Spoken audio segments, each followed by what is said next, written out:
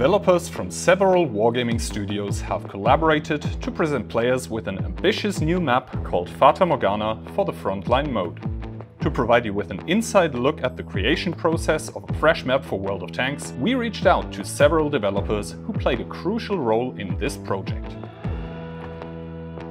Our journey begins in Graz, Austria, where our partners at Bongfish have diligently focused on crafting the level design and level art over the past few months. So, Bongfish, what is that? Please give us a brief history. So Bongfish, Bongfish is a gaming studio in the center of Graz. Uh, we do games since 15 years. Back then we started doing our own titles, uh, mostly big open worlds, extreme sports, that kind of stuff. So how exactly does your collaboration with Wargaming look like? So they were looking for a partner uh, because they wanted to do a new game mode. Really big open spaces, large battles.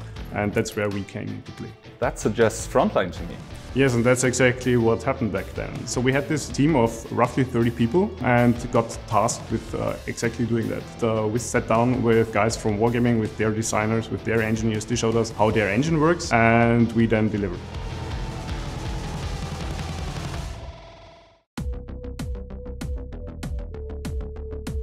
Now we're here talking with Thomas. He's lead level designer. What exactly does that mean? Uh, here in Graz we are three level designers, so I um, basically plan for our team which tasks need to be done. Also we discuss all of our designs and I basically have the last word. I try to have the uh, every team member having the same right in, the, in their designs.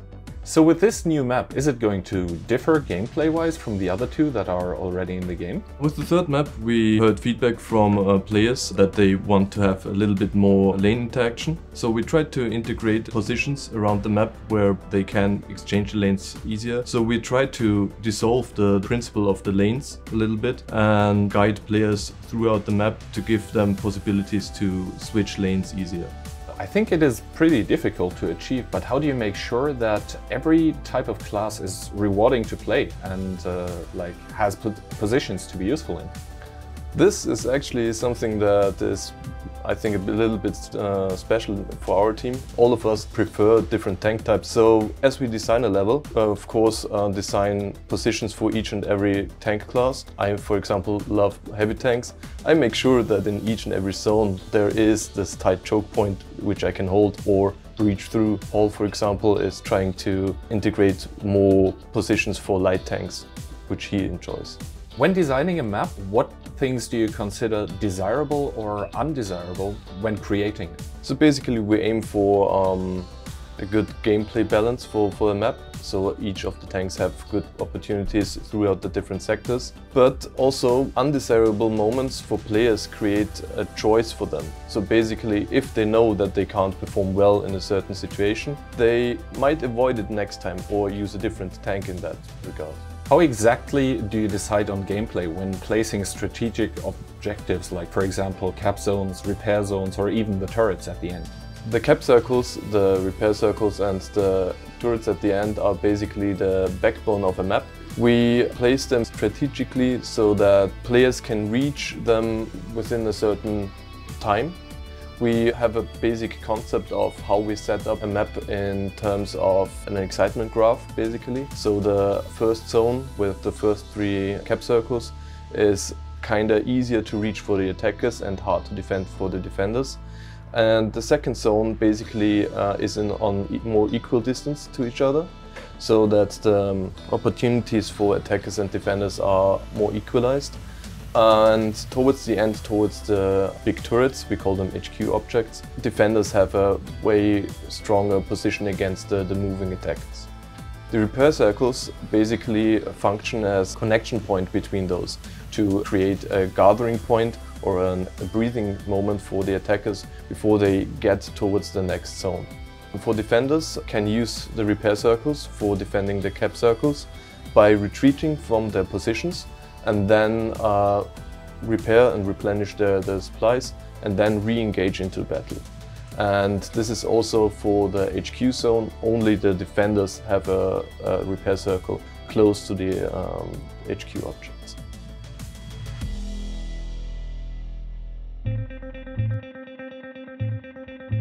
So here we are now with Gerald from the Level Arts team. What exactly is it that you guys do?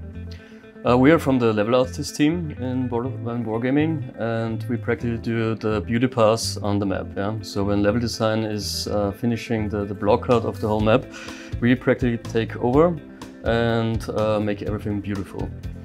Are there any particular challenges that you need to keep in mind when designing a large frontline map, apart from obviously the map being huge? Well, taking over a frontline map production um, has for sure some uh, challenges we, we interfere with. So, of course, as you mentioned, the huge size of the map brings in some challenges like, on the one hand, of course, which is obvious, we have to propagate the detailing path on the whole map, which is then, of course, more work than on a standard map. But on the other hand, we also need to figure out the optimization, since we as level artists, uh, we want to achieve various biomes so that players also uh, have it easier to navigate on. So that means uh, we can have a, a, more rocky area, then we're gonna have a city or river area. And in that regard, we need also a high amount of unique assets. Yeah? And there we, of course, have also some, some limitations we're facing. And we need to find a balance between uh, making the map beautiful, but uh, also optimized in terms of the asset usage.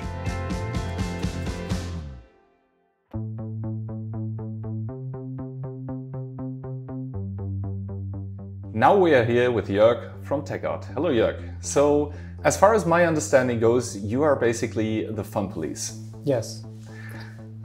I keep keep artists from having too much fun. That's that's my job. Um, I guess you monitor whatever the art and also the level design team are, to, are doing. At least that is my understanding. And then you tell them um, how much fun they are allowed to have with their actions. How exactly does that work? Well, they it's in the nature of their work, they add stuff to the map. And adding stuff to the map kills performance. So at some point I will have to go to them and tell them to stop. Mm -hmm. That's very. How exactly do you find that out? Do you have automated test runs? Do you um, actually like try to play on the map yourself? Oh, Explain that process, please. Yes, uh, basically we do. We have a possibility to have a local test whenever we want.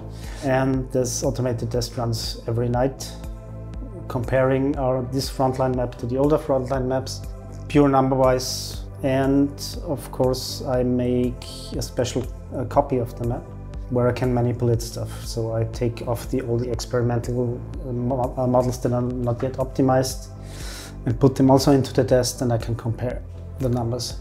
Could you tell us the biggest issues that could cause performance problems or even crashes? View range uh, performance problems is always dependent on view range. Uh, if you have too much stuff in one uh, view, then you will have performance problems. That's inevitable.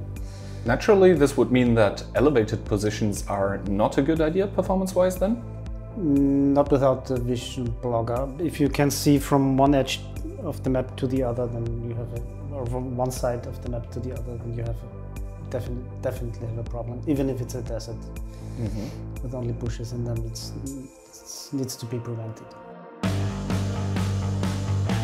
And we are back in our office in Prague. Here, the VFX and also the environmental artists are working on the map, so let's see what they have to say. So please, Valentin, first of all, tell us what exactly does a VFX artist do? Um, VFX art is just a part of development correlated to the visual side. We are working in the part of visual effects together with other team on development of this map. What kind of VFX art are there? So probably something like environment or maybe even animals. Can you tell us about something specifically regarding this new frontline map which you created for this? It should be like sandish, desertish. For that we create many, many environmental effects of uh, dust which can be filled all the map. As well, we create different fauna effects near to the sea line. It's, uh, seagulls, they are flying over the ships. So if you create a particular effect, like for example a seagull or the dust blowing over stones, how many iterations of back and forth would you take from the first draft to the final product? First of all, we need a concept art. We need to understand how strong the effect should be in that place from the player's perspective and the game design perspective as well. If it's something like a, in common, it's like a environmental effects, we try to create it slightly visible, not interact with the gameplay at all, just to see it's like a bit. But of course, we need meet with the art owner of the map, uh, then to talk with uh, 2D artists to make the sketch of emotional sketch, mood for, for the mood, and then try to recreate this mood by our particle system. Also, a big landmark on the map is the oil refinery, which uh, I believe has a lot of VFX effects as well. Did you create some especially for this building? Most necessary uh, visual effects, the pillar effect in uh, that game, in this event, because of we have to see this smoke from any point from the map. It's our direction where the player should go at the end. So we create some sketch of these effects uh, to, to talk with art director. Our art director look on that effects and give us some feedbacks. He like to have some fire from the pipes. That smoke should be not horizontal and not vertical. It should be some shape and looks perfect from different angle. All right, Valentin, thanks very much for sharing all of your insights. Thanks also for answering our questions, and I very much look forward to seeing the VFX out in the game.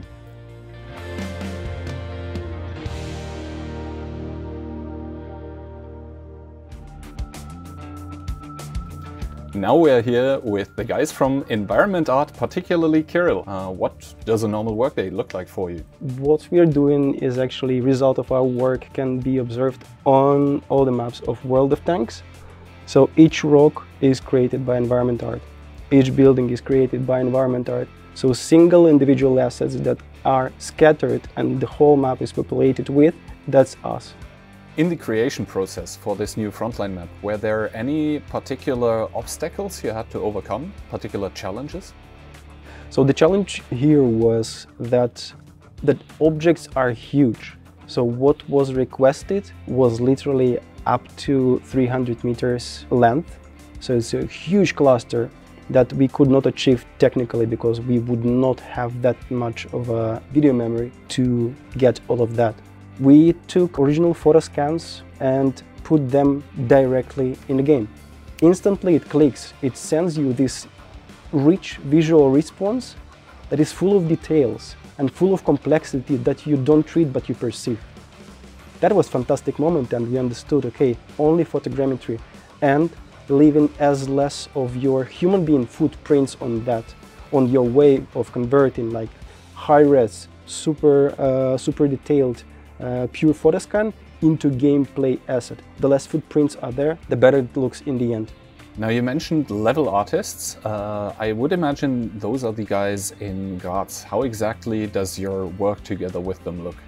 We have collaboration on uh, on the daily basis. Of course, there is uh, one of the most important meetings when everybody who involved into into production are there. And Gerald, as an art owner, he provides his vision, he provides his feedback. He sees the whole progress of the, of the work on the map done um, during the week.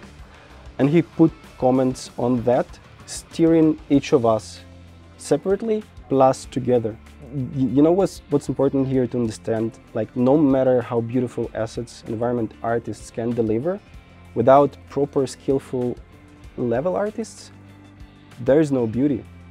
So they do find fantastic ways of how put them into bigger, massive compositions, which do make sense. Now, obviously, players want to know, did you put any kind of Easter eggs onto the map? Yes, we did. all right, Kirill, then thanks for the time you took to answer all our questions, and I'm personally really looking forward to play the map. Well, that was all we have for you today, Commanders. We hope you liked this video. If you did, give it a like, by the way, and hopefully you also found it a bit informative. Our devs are gonna keep working on the map, as currently for us it isn't finished yet, but for you it should be out, so hopefully you're grinding those sweet credits. We'll see each other on the battlefield.